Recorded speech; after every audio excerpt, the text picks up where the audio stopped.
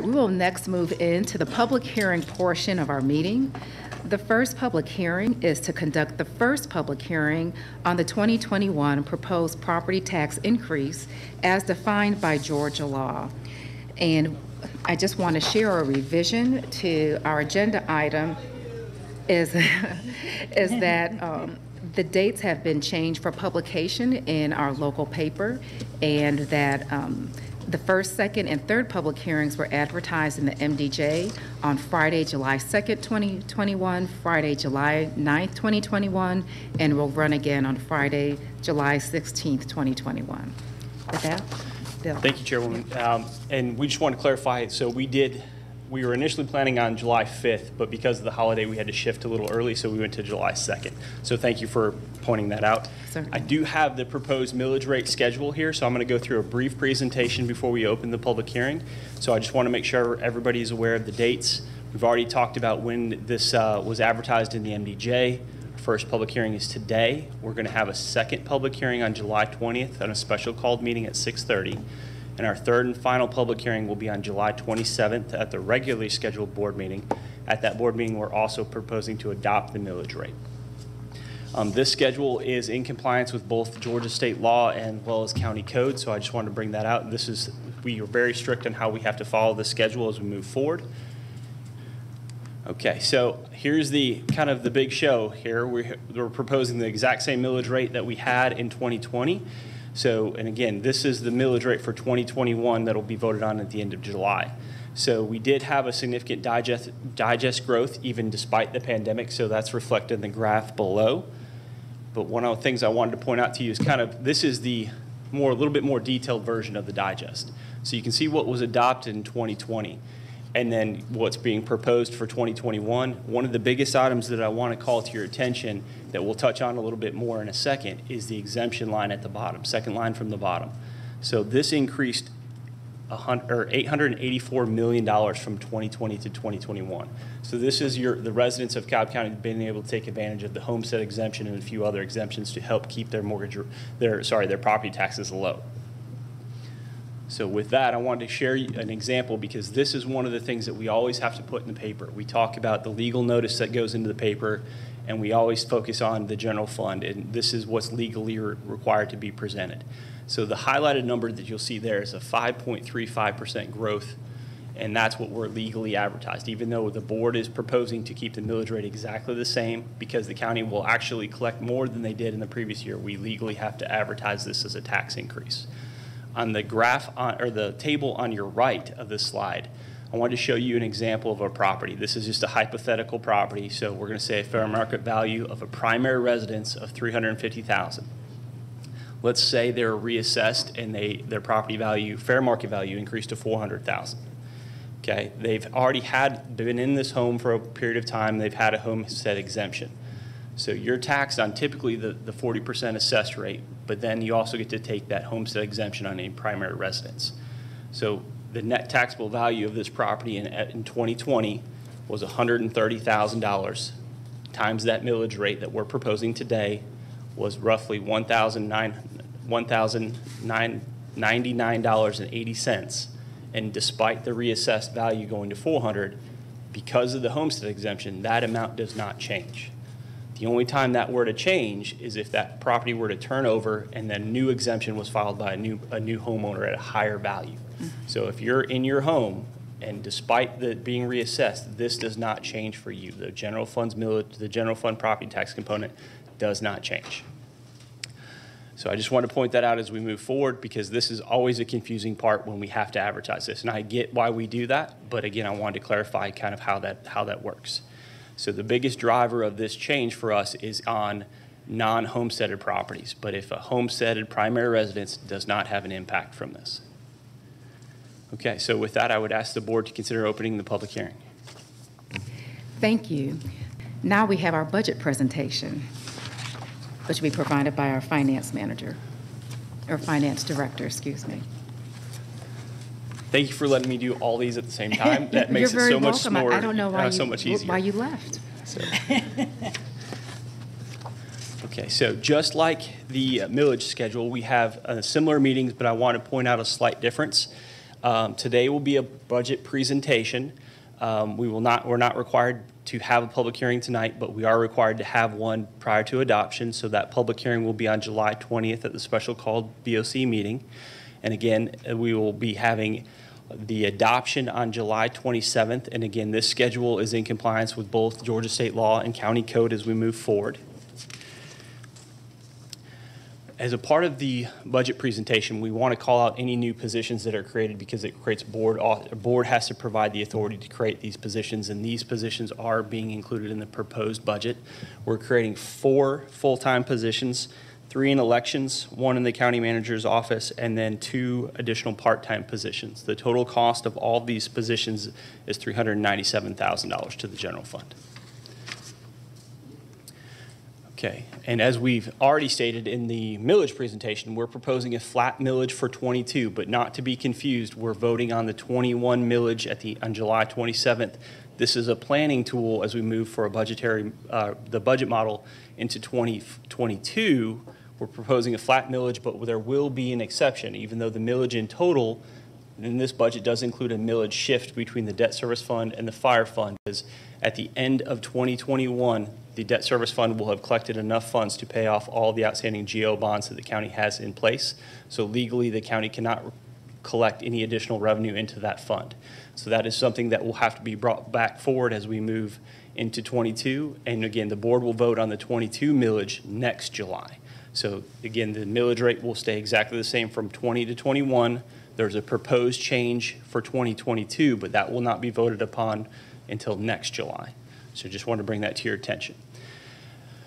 All right, so on the revenue side, we, do- we did receive a significant tax increase in FY '21, and we're proposing an additional increase in '22. Now, one of the big things that you'll see as we move through this presentation is a significant increase in revenues, because if you remember, when we adopted '21, for the first time since the recession, we adopted a 0% digest growth because of the pandemic. Took a very conservative approach.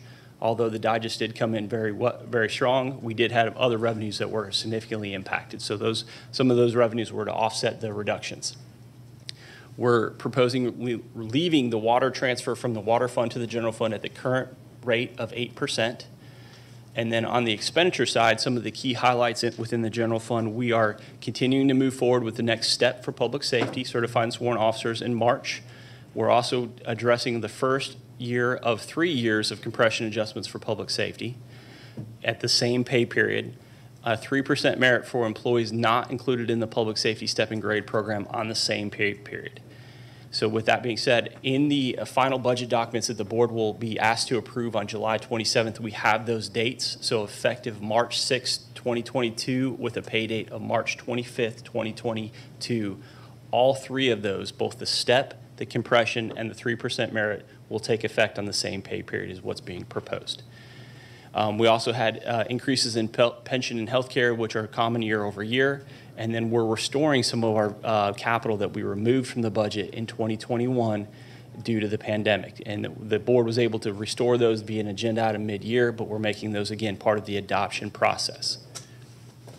Okay. All right, so we're going to touch on, oh, I'm sorry, I'm going to back up because I, I left it off this slide, but we'll touch on it later, is the county is also setting up a contingency to address compression for non-public safety certified, or non-public safety positions as well in FY '22. So that is in there, and I will touch on it when we get to the contingency slide, but I didn't want to exclude it because it is very interwoven into this process. Okay. All right, as we move forward, here's some quick revenue updates. And you, the first top of the line, you'll see property taxes. We already touched on that. That's an 8% growth. But again, 5% of that is from FY '21, what we actually experienced. Because again, in 2021, we adopted a 0%. And the additional three is what's being projected. But as you kind of look through those, you see most of these are negatives. So as we kind of pare down through most of these, you're only going to see property tax revenues and other taxes as positives. All other categories we're paring back on. The other taxes are being driven from our Title ad valorem fees that we collect, as well as our insurance premium taxes are continuing to remain strong. We are taking a conservative approach as we pare back on some of these, but you'll see in the other financing sources as well as the, the interest that you're going to see pare backs on those specifically due to interest rates that we've received And then uh, fines and forfeitures due to the court cases being closed during the pandemic, we saw a significant drop in those. We are seeing those begin to reopen, but we know there's a some significant challenges there as we move forward. Uh, We hope to see those rebound, but for the most part, even the other categories are, you know, slight reductions, but relatively flat, but an overall increase of 4.82%. Okay. All right. On the expenditure side, the biggest driver we're seeing is personnel. You're seeing a 3.65% increase. We've already listed a lot of those categories between the step and grade, the merit, the compression, and so on. Pension and health care also play a big part of that. The biggest line that you'll see on here is the 377% increase in capital. Obviously, that's very skewed because we pulled almost all of the capital out of the budget in FY '21. So to kind of give you an idea of what that looked like prior to the pandemic, we had $14 million of capital adopted in FY '20. It is 10.2 million in FY '22 being proposed, and the biggest change there is a reduction in vehicle replacement due to the fleet schedule, not necessarily a funding issue. It was more of a paring down to what we need to pay, replace vehicles as we move forward. Okay. The transfers out um, are remaining relatively consistent, and then contingencies I'm going to touch on in the next slide here. Okay, so here's a compar- comparison of the contingencies as we move forward. BOC contingency is the same. County manager contingency, we're seeing an, in- we're increasing there to help address some ongoing needs that happen throughout the year. Undesignated contingency, or sorry, designated contingencies are going to be our shift differential and, or I'm sorry, the undesignated contingencies are change of venue, storm debris, and awards and recognition succession planning. So those are continue to move in there. And then we had a, a significant change in the personnel-related contingencies. But the biggest change there is due to the compression contingency that we talked about for the non-certified and sworn officers, or in the not, the people not a part of the public safety stepping grade. And then we are getting a new Superior Court judge starting this January, so we have a contingency to address all the positions associated with the new judge, and those will be funded, fully funded as we move forward into the next budget cycle. Okay. And then one of the big topics that we always address each and every year is how are the Braves bonds funded? Um, You can see the plan of adoption for 2021 is relatively the, pretty much a mirror image for 2022. Um, We are seeing some positive changes in this, and as those changes continue to develop, um, those agenda items will be brought forward to if this funding needs to change. And by change, it would only improve, and lessen the general fund's impact as we move forward. The biggest area that we're watching closely is the transfer from the hotel motel fund. Um, We are starting to see those room rates pick back up and the occupancy go up. Um, We're proposing no transfer at this time, just like we did for 2021. Um, But as those improve, it would be something that we'd be, bring back for the board's consideration to help reduce the general fund's impact. But again, that would come back only if the revenues were there to support it. Those revenues are currently being used to fund the debt service on the Performing Arts Center bonds, and that's all we simply budget, the bare minimum that we need to cover those, those requirements. Okay, so here's a summary of all the funds, and one of the things that we want to, I want to call out to your attention, just as some, some big ticket items that I think are worth mentioning, is that if you scroll down to the fire fund, it's a 10.99% increase. Now, just like the general fund, we had to pare back on capital replacement in FY '21. And that's really what you're seeing here is, yes, you have, you know, the merit, the step, and the, per- the small increases for personnel, but this is restoring a lot of the capital replacement that was taken out of the budget, just like we're doing within the general fund. And this is a self-sustaining fund, so any funds collected within this fund stay within, within this fund. And just as another reminder, the fire fund still receives over $4 million from the general fund because of the way we changed, the state changed the TAVT collections. So the general fund is still providing additional funding to the fire fund to keep them whole prior to that, that change at the state level. Okay. All right, and then um, couple other things that I just want to point out. You see some, you know, significant reductions, debt service. Again, this is the last year that we'll collect revenue within, or 21 will be the last year that we collect revenue for the debt service fund, but we do have the debt service payments to make with the cash that we'll have on hand. So that is simply the debt service schedules winding down. And then one of the other significant reductions you'll see, uh, dollar-wise isn't there, but percentage-wise is 7.33% for law library. This is uh, just a pare back based on the court volumes, because obviously the, the law library is supported by the court activity. Okay, so an overall, for all of our governmental funds, you're looking at a 4.71% increase. Okay. And then we have our proprietary funds. Uh, Apparently, the, this time uh, during the pandemic is a great time to be in the golf course business. Everybody wants to be outside and socially distanced. Um, The Cobb County's facility has been a self-sustaining operation, and they have been able to generate significant revenues over the past year as people have been wanting to be outside and uh, socially distanced throughout the pandemic. Uh, We are seeing a little bit of an increase in there due to the revenue volume, not necessarily due to the expenditure volume, but this is going to be reinvested in the course and help to maintain the facilities that we have. Um, a- As just a one other highlight of this is the, the, the course was actually able to generate some revenues and send some money back to the general fund in FY '21 of $200,000. So that was positive. As this continues to generate revenue, those monies can be sent back to the general fund to help repay some of the initial investment within the course. Okay? And then we have our sustainability, waste, and beautification, formerly known as solid waste, is relatively flat. Transit is relatively flat.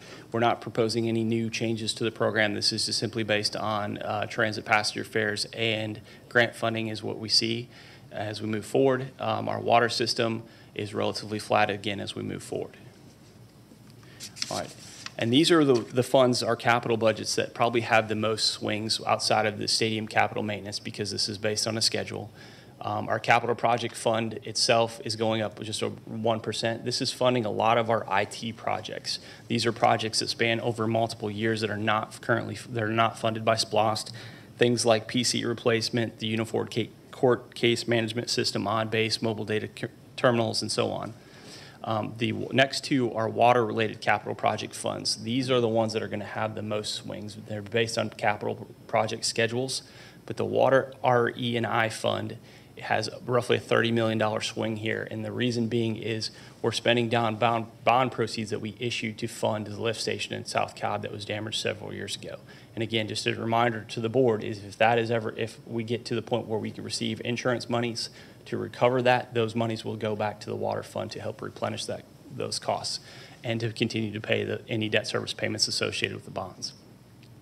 The water system development fees, um, the biggest change for this, um, fifteen percent, but it's roughly three million dollars is the count, the, this system has enough to, um, use a, use cash this year to pay some of our GEFA loan obligations, so we're not adopting those debt service payments this year because we're gonna be using cash that we have on hand, which is why you see a little bit of a change in this.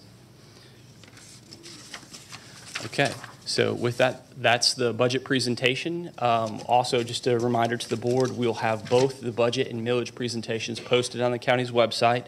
There are, the uh, detailed versions of those also be posted on the county's website, and they're available in the room today, as well as a a copy up in finance as well for anybody who would like to receive a copy. So any questions that I can answer for you today? Any questions? Commissioner Birrell? Yes. Um, Thank you, Bill. Can we have a copy of a power, the PowerPoint Absolutely. as I will, well? I will send everybody in the room a copy of the PowerPoint, and again, we'll post it on the website as well. But I'll make sure all of you have it as, uh, we'll send it out as soon as the meeting's over. Thank you. Thank you. You're welcome. Any additional questions? Commissioner Gambrill? Hi, Bill. This is more um, addressing Mr. Bedgood's question. Sure. Because I remember last year, there was discussion that we would be ending the Parks Bond Mill. Yes. Which is that .11. But I see it still included for this year. Yes. Can So- you explain why? Yes, absolutely. That's a great question. So it's, the part that's confusing, I think, for a lot of people is the fact that we're doing the millage adoption for FY '21, which ends in September. So we're doing that on July 27th, but the proposed budget starts October 1.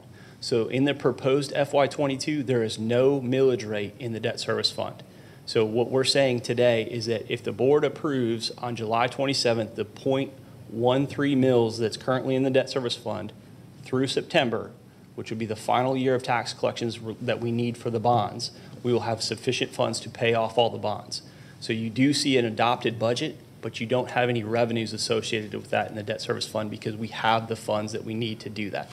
So that's what, and because all those funds are legally restricted to only go to bonds, once we get to that point, we cut it off and we say, we cannot collect anymore, we have sufficient cash to take care of it. And when I say cash, we'll have revenue, so obviously the, we have this year's property tax collections that will feed into that cash number. But at the end of the day, those have to be legally restricted. So again, that's why it's a little bit confusing when we're ending a program like this, is that we're asking you on the same meeting to adopt the millage rate for FY '21, again, that ends this September, and then adopt a budget that begins October 1 with a different millage rate, being a zero millage rate for the debt service fund, because we cannot collect after this year. So what can the homeowners expect on their tax bill then for next year? Essentially, that, Sure. that line will be gone, or, or what can they expect to see? Yes. Or even their bill that they receive in So October? That's great. So the bill that they will receive for this year will include that .13 mils. Okay, so you'll receive that, and then the county will be, begin collecting those as early as August, and it usually spans into late December, is usually our collection period. But that bill that you receive this late summer will be that .13 mils within the debt service fund. The bill you receive next summer, again, assuming we don't, you know, the voters don't approve another GO bond, which I, that's not even, yeah, we're not going to go there, but we're just saying, you know, assuming that that doesn't take place and there's no plan in place to, to do a GO bond, obviously. Um, but that would be a zero line, so there would be nothing on the debt service. So for those that live either in the city limits or in the unincorporated Cobb, that line will be zero next year. Okay? Thank you for that question, Commissioner. Thank you for clarifying, Bill. Are there any additional questions?